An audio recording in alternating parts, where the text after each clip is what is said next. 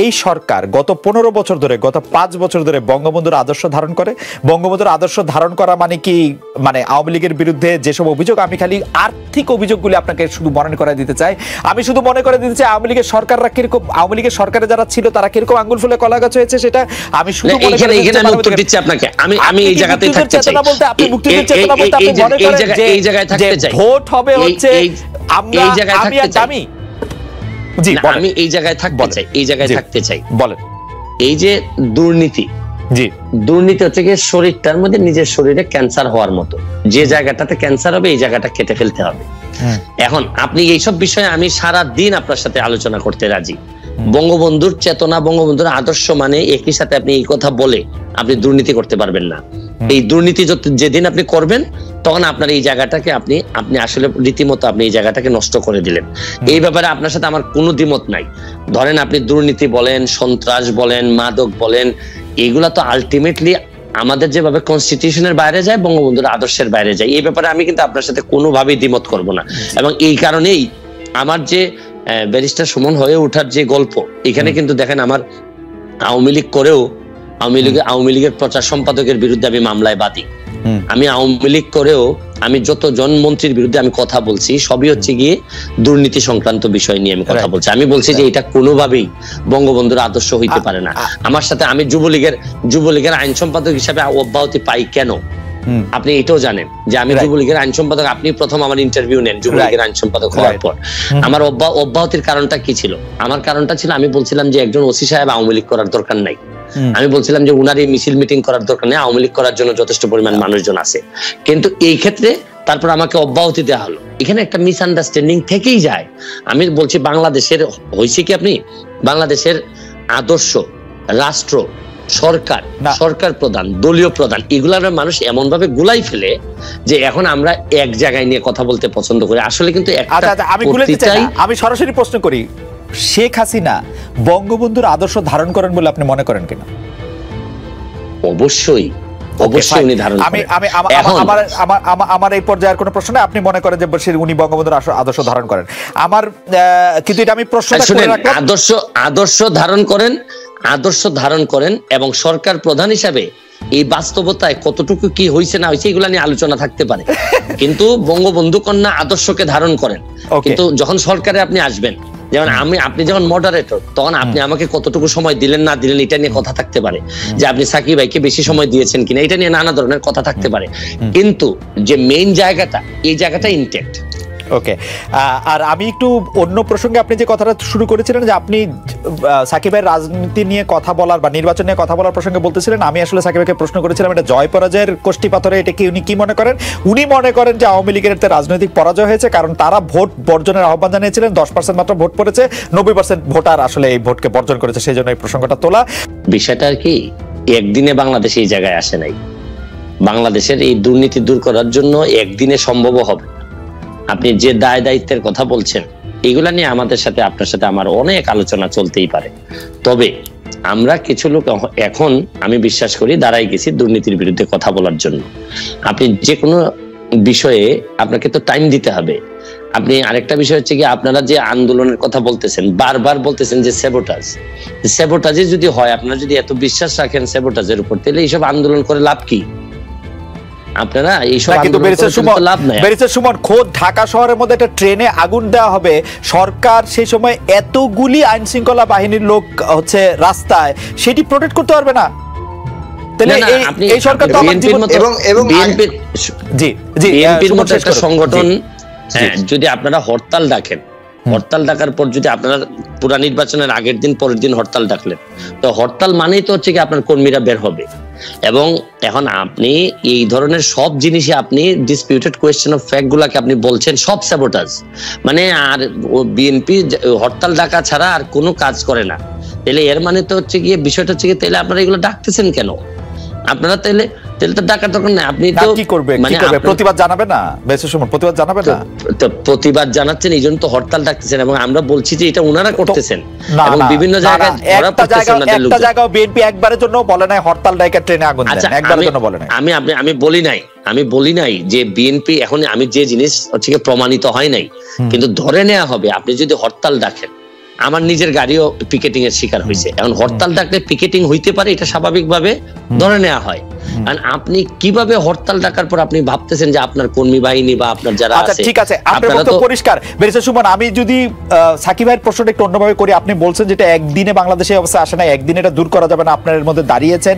কিন্তু ব্যারিস্টার সুমন আপনার একটা পরিচিতি আছে সেটা আজকে এমপি হওয়ার জন্য না গত দশ বারো বছরে আপনার অসংখ্য খাটাখাটির পর আপনার একটা পরিচয় দাঁড়িয়েছে। কিন্তু আপনি কি সেই দুর্নীতিবাজদের এগেনস্টে দাঁড়িয়ে মানে একটি প্রতিবাদ প্রতিসভা এবং তাদেরকে সামাজিকভাবে পরিচিত করার জন্য কোনো একটা উদ্যোগ কি নেওয়া আপনার উচিত ছিল না এই দশ বছরে? মানে সরাসরি ভাবে এবং আরও প্রশ্ন করতে চাই আপনার কাছে কি মনে হয় যে একটা দেশের সরকার প্রধান বা যিনি রাষ্ট্রীয় ক্ষমতা সর্বোচ্চ স্তরে আছেন তার নজরে এগুলি পড়ছে না? এবং তিনি কোনো প্রতিকার করছেন না শুধু শুধু সেটি এমনি এমনি।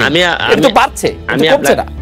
আমি আমি প্রথম প্রশ্নটা আবার হারাই গেছি। আপনি সেকেন্ড প্রশ্নতে যাওয়াতে আচ্ছা, প্রতিবাদ প্রতিবাদ প্রতিবাদ আমি প্রতিবাদ, আমার এই পর্যন্ত হাইকোর্টে যতগুলা মামলা আমি পাবলিক ইন্টারেস্টে নিজে কমপ্লেইনেন্ট হয়ে যতগুলা মামলা করছি সবই ছিল হচ্ছে দুর্নীতির বিরুদ্ধে। আপনি দেখেন এই আওয়ামী লীগের সালাম মুর্শিদি আপনি দেখেন প্রচার সম্পাদক গোলাপ সাহেব এরপর হচ্ছে গিয়ে এস আলম সবগুলাতে কিন্তু আমি বাদী ছিলাম। আমি দুর্নীতির বিরুদ্ধে এই পর্যন্ত যতগুলা এই আমাদের যিনি মাননীয় শিক্ষামন্ত্রী বর্তমানে দীপুমণি না শিক্ষামন্ত্রী না সমাজ কল্যাণ মন্ত্রী উনার ভাইয়ের বিষয় নিয়ে আমি কথা বলছি। আমি আমাদের যে সমরেজা সাহেব উনার মুক্তিযুদ্ধের সার্টিফিকেট নিয়ে আমি কথা বলছি। মাননীয় সাবেক রেলমন্ত্রীর বিষয় নিয়ে আমি কথা বলছি। আপনি যাদের কথা বলছেন তারা সবাই মন্ত্রী থেকে বাদ পড়ছে। এইটা একটা ভালো জিনিস হয়েছে। যাদের কথা বলছেন তারা সবাই মন্ত্রী থেকে। দেখেন আমি যাদের বিরুদ্ধে কথা বলছি। গোলাপ সাহেব ফেল করছেন উনার প্রায় জামানত বাজেয়াপ্ত হয়েছে। আর যারা বেঁচে গেছেন তারা খুব অল্পতে বেঁচে গেছেন মন্ত্রিত্ব থেকে বাদ পড়ছেন।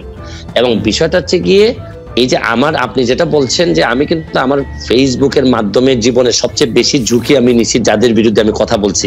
এরপরে যে আমি টিকে আছি এটা আমার কাছে আমার জায়গা থেকে আমি চেষ্টা করছি। আমি কিন্তু বলছি না যে আপনারা দুর্নীতির বিষয়ে যা যা বলছেন আমি সুমন। আমরা দেখেছি গতকাল আপনার ফেসবুক স্ট্যাটাসে বলেছেন প্রধানমন্ত্রী শেখ হাসিনার সঙ্গে দেখা হওয়া সামনাসামনি সেটাই আপনার জীবনের সবচেয়ে বড় ঘটনা। আপনি আর শেখ হাসিনা সরকারকে কি সমালোচনা করবেন? আপনি তো শেখ হাসিনা সরকারেরই মানে একজন। আমার আমার আমার সমালোচনা সমালোচনা প্রথম শুরু হয়েছিল আমার বাবার বিরুদ্ধে। আচ্ছা। আমার বাবার কার্যক্রম থেকেই প্রথমে আমি সমালোচনা করা শিখি। তো আচ্ছা। বিষয়টা হচ্ছে গিয়ে বিষয়টা হচ্ছে গিয়ে যেসব জায়গায় ধরেন আপনারে আমি সাংবাদিক হিসেবে পছন্দ করি। আপনার সাথে আমার পাঁচটা মিনিট সময় কাটানোটা আমিও মনে করি যে এটা একটা প্রায় আমার জন্য একটা প্রিভিলেজ আই এম অনার যে পাঁচটা মিনিট সময় কাটাতে পারতেছি আমরা। কিন্তু একই সময় কিন্তু আপনার বিভিন্ন বিষয়ে কিন্তু আমি একমত হব না। আবার আপনার বিভিন্ন বিষয়ে কিন্তু আপনার একমত তো হবই না। মানে বিনয়ের সাথে আমি আপনার সাথে চরম ভাবে বিরোধিতা করব। আমি কিন্তু বিষয়টা এরকম বিষয়টা কিন্তু এরকম যে আমি হয়তো আপনার পক্ষে না আপনার সাথে একমত না কিন্তু আপনি যাতে আপনার পক্ষ কথা বলতে পারেন এটার স্বাধীনতা আমি আমি স্বাধীনতায় বিশ্বাস করি। সুতরাং এখানে বুঝতে হবে যে জননেত্রী শেখ হাসিনা সরকার প্রধানের সাথে সাথে উনি বঙ্গবন্ধু কন্যা। বঙ্গবন্ধু কন্যা জাতির জনকের কন্যা। উনার সাথে কিন্তু উনার কয়েকটা আইডেন্টিটি আছে আপনারা হয়তো অনেকে একসাথে করে ফেলেন। আমার কাছে কিন্তু দেখেন আমি কিন্তু এই এমপি হওয়ার আগেই। বাংলাদেশ আওয়ামী লীগের প্রচার সম্পাদক যিনি বর্তমানে তার বিরুদ্ধে মামলা হয়ে বাদী হয়ে কিন্তু আমি মামলা করেছি। সুতরাং আমি আওয়ামী লীগ করি আওয়ামী লীগকে বঙ্গবন্ধুর আদর্শকে ধারণ করি বহন করি। কিন্তু যে সব জায়গায় আমার সমালোচনা করার যেসব জায়গায় আমার প্রতিবাদ করার এই জায়গায় তো আমি বন্ধ হয় নাই। বা আমি কখনো আটকে থাকি নাই বা চেষ্টা করছি আমি যতটুকু পারছি আমি চেষ্টা করছি। এইখানে বঙ্গবন্ধু কন্যার সাথে দেখা দেখা করতে পারাটা আমার জন্য একটা সম্মানের. এইখানে আপনারা মিলাই ফেলবেন না কিন্তু। উনি সরকার প্রধান যখন হবেন তখন সরকারের দায় যতটুকু থাকবে যতটুকু উনার নেওয়ার বিষয় আছে এখানে আমি হয়তো ওনাকে বলব যে মাননীয় নেত্রী এখানে আমার মনে হয় কাজ করার সুযোগ আছে। আমার হয়তো বলার এখানে একটা জিনিস হয়েছে কি এবার সংসদে আপনি কখনো কোনো খারাপ ভাষা হয়তো শুনবেন না না, বকাবকি শুনবেন না গালাগালি শুনবেন না। এইবারের সংসদ হবে ভদ্রলোকের সংসদ। এখানে আপনি মানে দেখবেন মানে কিন্তু বিরোধিতা কি হবে মানে আপনি মনে করছেন? চরম বিরোধিতা হবে। আপনি আপনি আপনি কিন্তু আপনি তো অরিজিনালি নৌকা মানে আপনি নিজেও নিজেরে বলেন এমনিও বলেন। না না না এইখানে এইখানে এইখানেই প্রবলেমটা হ্যাঁ। প্রবলেমটা হচ্ছে গিয়ে আমি বঙ্গবন্ধুর আদর্শকে ধারণ করি। এবং আদর্শকে ধারণ করা মানে কি? মানে হচ্ছে গিয়ে উনার যে আদর্শটা আছে এইটা আমাদের একটা কনস্টিটিউশনের মতো। যে হাই Okay. কিন্তু কনস্টিটিউশনকে মানে। কিন্তু যখনই কনস্টিটিউশন ভায়োলেট করার বিষয় আসে তখন কিন্তু হাইকোর্ট একটা রুল দিয়ে দেয়। ওকে তো বিষয়টা হচ্ছে গিয়ে যে আমার এই জায়গাটা ঠিক রেখে আমার দেশটাকে বাঁচানোর জন্য দেশটাকে ভালো করার জন্য আমার যে সব জায়গায় নক করতে হবে এইসব জায়গায় আমি স্বতন্ত্র হিসেবে আমার তো আরও স্কোপ আরও বেড়ে গেল। রাইট বঙ্গবন্ধুর আদর্শের কোষ্টি পাথরে এই বিরোধী দলের নেতা নেত্রীদের জেলে রেখে ইলেকশন করাটা কেমন আসলে? এই এই প্রশ্নটা আমার মনে হয় সাকিব ভাইকে করেন। সাকিব ভাই এই আমার মনে হয় এটার জন্য উত্তর দেওয়ার না, জন্য উনি একেবারে আজ হইতেছেন। না না সাকিব- না, সাকিবের জন্য সাকিবকে করার জন্য আপনার কষ্ট আছেন। আমি এমনি মনে করি- এমনি এমনি। আচ্ছা ঠিক আছে আমি প্রশ্নটা অন্যভাবে করি। বঙ্গবন্ধুর আদর্শতে প্রশ্ন করি আপনার কাছে কি মনে হয় যে আওয়ামী লীগ সভানেত্রী বা আওয়ামী লীগের যে যিনি সরকার পরিচালনা করলেন গত সংসদে যেইভাবে হামলা মামলা এবং বিরোধী দলের উপর যে নিপীড়নের অভিযোগটা করা হয়েছে সেইটা আপনি আসলে কীভাবে দেখেন? মানে সংবাদপত্রের কণ্ঠরোধ মুক্ত সেই যে অভিযোগগুলি আছে মানবাধিকার সেগুলির ক্ষেত্রে আপনার কাছে কি মনে হয়? মানে মানে মানে সেটা শেখ হাসিনার সরকার ঠিক মানে- ছিল? আমার কাছে মনে হচ্ছে কি যে আপনি এই একজন নৌকার প্রার্থীকে প্রশ্ন করতেছেন। আচ্ছা ঠিক হ্যাঁ, আছে। আপনি আপনি আমি একজন স্বতন্ত্র প্রার্থীকে প্রশ্ন করতেছেন নৌকার প্রার্থীকে বিষয়টা এইভাবে না। তারপর আচ্ছা। তারপর আমি আপনাকে যেটা বলতে চাই বলতে চাই হচ্ছে গিয়ে যে আদর্শের রাজনীতিতে থাকলে আদর্শের রাজনীতিতে থাকলে এক সময় না এক সময় আপনি সার্ভাইভ করবেন। ওকে যারা এখন বিভিন্ন অভিযোগ তুলতেছেন তাদের আদর্শের জায়গাটা আরও স্ট্রং হইলে দেখবেন আমার মতো ওনারাও বেরোয় আসবে। বিষয়টা হচ্ছে কি ওনারা যে একেবারে ছেড়ে দিয়ে অসহিংসতা বেনিফিট বা ক্রেডিট নেওয়ার চেষ্টা করতেছেন এটা একেবারে আমি মনে করি না যেটা সত্য। তারা যদি দাঁড়ানোর সক্ষমতা থাকতো তাদের যদি ম্যান্ডেট থাকতো আচ্ছা আমি একটা জিনিস বলি মানুষ যদি ওনাদের প্রতি এতই ভালোবেসে ভোট দিতে না আসে নব্বই পার্সেন্ট লোক বসে থাকে তাহলে এই নব্বই পার্সেন্ট লোক আন্দোলনের সময় কই থাকে? তারা আসে না কেন? না না যাদের ভোটের তারা তারা পুলিশের পুলিশের গুলির ভয় পায় বেলসে সুমন। আপনি নিজে জানেন তারা পুলিশের এই- গুলি ভয় পায় তারা মামলার ভয় পায়। যে- তারা তাদের এই যে আসেন। তাদের এই যে আসেন। জি। এই যে আসেন বিষয়টা হচ্ছে কি? আমার এলাকায় যখন আমি নির্বাচন করতে যাই আমি একেবারে ধরেন আমি একটা এই দুইজন একই মানুষের মধ্যে দুইটি মন্ত্রণালয়। একজন মাননীয় মন্ত্রীর বিরুদ্ধে আমি নির্বাচন করতে গিয়ে আমি টের পেয়েছি যে আমার কত ডিফিকাল্টিস হয়েছে। কিন্তু আমার আদর্শের জায়গা এবং আমার কাজ করার যে সক্ষমতা ছিল বলে কিন্তু আমার লোকজন কিন্তু এই যে বুলেট বা কিছুই ভয় পায়নি। তারা কিন্তু চলে গেছে সুমন আপনি ভয় আপনি ভুলে যাচ্ছেন যে আপনি নির্বাচনে অংশগ্রহণ করার আগে আওয়ামী লীগের সভানেত্রী শেখ হাসিনা বলেছিলেন, যারা আমার দল করে কিন্তু আসলে অন্যভাবে নির্বাচন করতে চায়, তারা তাদেরকে নির্বাচন সুষ্ঠুভাবে করতে দিতে হবে। আপনি অরিজিনালি নৌকার সাপোর্টার আওয়ামী লীগের মানে একজন কেন্দ্রীয় লোকের চেয়েও আপনার আসলে এক ধরনের পরিচিতি ক্ষমতা ইয়ে বেশি, নানা কারণেই। তো সেই কারণে আপনি এটা করতে পারছেন, এটা কি একটা বিএনপি লোক করতে পারতো এরকম? উনারা তো আগেই ছেড়েই দিলেন। আমাদের দেখেন, বিএনপি যদি নির্বাচনে আসতো, তাহলে কিন্তু আমার নির্বাচন করা হতো না। আমাদের কিন্তু একজনই থাকতো। আমি কিন্তু ধরেন আমি যার বিরুদ্ধে নির্বাচন করেছি উনি নৌকার নমিনেশন পেয়েছেন বিএনপি আসলে কিন্তু আমি উনার পক্ষে নির্বাচন করতাম। কিন্তু এখন বিএনপি যে আসেনি এখন উনাদের নানা রকম কমপ্লেন থাকতে পারে। এখন প্রশ্ন হচ্ছে গিয়ে বাস্তবতা হচ্ছে গিয়ে উনারা এখন একেবারে পেছনে পড়ে গেছেন। উনাদের কিন্তু এখন আমাদের আলোচনা কিন্তু পুরো বাংলাদেশ জুড়ে হচ্ছে যে মন্ত্রী এটা ভালো হয়নি এটা ভালো হয়েছে এরকম হচ্ছে। কিন্তু উনারা যে দাবি করতেছেন আমি ব্যক্তিগতভাবে মনে করি তাও ডিসপিউটেড কোয়েশ্চেন অফ ফ্যাক্ট আমি আপনার জানতে চাইতে পারি যে আপনার মাথায় কি মনে হয় যে নির্বাচন কমিশন ঘোষিত যে নাম্বার একচল্লিশ দশমিক আট পার্সেন্ট লোক এবার ভোট দিয়েছে অর্থাৎ প্রতি দশজন ভোটারের চারজন ভোটার ভোট দিয়েছেন এটা কি আপনার কাছে ফ্যাক্ট মনে হয় আমি অবশ্য ঢাকার বাইরে যাই নাই আমি আগেই বলে রাখি আমি মাত্রই সাত আটটা কেন্দ্র দেখেছি কিন্তু বিষয়টা হচ্ছে কি আমি তো আপনি আমাকে বলেন আমি তো আমার- একচল্লিশ দশমিক আট পার্সেন্ট আমি আপনার কাছে রিয়েলিস্টিক মনে হয় কিনা? আমার যেমন ধর আমার এলাকায় আমার এলাকায় যেটা আমি তখন তো আমি সারা বাংলাদেশ নিয়ে একেবারেই কনসার্ন ছিলাম না। আমার এলাকায় ফিফটি পার্সেন্ট অ্যাবভ আমার এলাকায় ফিফটি পার্সেন্ট অ্যাবভ কিন্তু ওভারঅল ওভারঅল আমার কেন জানি মনে হয়েছে যে ভোটের আগ্রহ খুব বেশি যে মানুষের যে একেবারে মানে সবকিছু ফেলে দিয়ে ভোট দেওয়ার যে আগ্রহ এটা অত বেশি মানুষের মধ্যে নাই। ওভারঅল যে এই সত্তর পার্সেন্ট হবে ষাট পার্সেন্ট হবে এরকম আগ্রহটা আমি খুব বেশি যে এমন দেখছি তা আমি বলব না। কিন্তু বিষয়টা হচ্ছে কি আমার এলাকা বা আমার পাশাপাশি এলাকা যতগুলাতে আমি দেখলাম যে ভোট চল্লিশ পার্সেন্ট হওয়াটা অস্বাভাবিক আমার মনে হচ্ছে না তবে ফিফটির উপরে গিয়ে বলাটা আমার কাছে মনে হয়েছে অস্বাভাবিক। এখন এটা আবার ডিপেন্ড করে কিছু কিছু সেন্টারে হয়তো আপনি যেটা বললেন যে তেরো পার্সেন্ট ভোট পেয়ে ঢাকার একজন এমপি নির্বাচিত হয়েছেন। তো ওভারঅল যদি আপনি মিলান তাহলে আমার কাছে মনে হয় যে এটা যে খুব বেশি আমি অবিশ্বাস করব এই জায়গা আমার নাই। আপনারা হয়তো অবিশ্বাস করতে পারেন। আপনি- এবার মনে করছেন যে নির্বাচন কমিশন কোনো আনফেয়ারমেন্ট সেট আপ করেছে ভোট স্টাফিং হতে দিয়েছে বা এরকম কোনো কিছু আসলে ঘটে নাই মানে এটা আপনি মনে করছেন? আমি আমি তো এটারই রেজাল্ট হয়নি বলেই তো আমি আসতে পারছি নাহলে আমি আসতে পারতাম না। না আপনারটার ব্যাপারে আসলে সাকিব ভাই কোনো ডিসপিউটও করতে চাচ্ছেন না আপনার ব্যাপারে এককভাবে আলোচনাও করতে চাচ্ছেন না। তিনি আমি বলছেন সার্বিকভাবে আমি আমার সার্বিকভাবে আমি যতটুকু প্রশাসনের সাথে আলাপ করছি আমার পুরো সিলেট বিভাগ। আচ্ছা তাইলে আইজিপির আইজিপি সাহেবের ভাই কীভাবে ফেল করে? আপনি বলেন যদি প্রশাসন যদি কোন প্রশাসন যদি কোনোভাবে এখানে এখানে যদি কি করতো? প্রশাসনে যদি আপনি বলেন যে প্রশাসন শাসন করছে।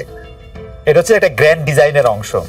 এরকমও বলেন কেউ কেউ। যে আইজি সাহেবের ভাই ফেল করবেন ব্যাপারে- আচ্ছা, প্রেসিডেন্ট আচ্ছা, সদস্য ফেল করবেন তারপরে এগুলি গ্র্যান্ড ডিজাইনে প্রতিমন্ত্রী আপনি যদি এই- কথাগুলো বলেন তাহলে এই ডিজাইনারের ডিজাইনারের মধ্যে আপনিও আছেন। আমার থাকতে হয় না আমি তো অবজারভার আমি ডিজাইন দেখি তো। মানে আপনি যদি আপনি যদি ডিজাইনের কথা বলেন তাহলে। নিশ্চয়ই আপনার কাছে ইনফরমেশন আছে। আপনি আমাকে এটার একটা প্রুফ দেন আমি আপনারে নিয়ে হাইকোর্টে যাই।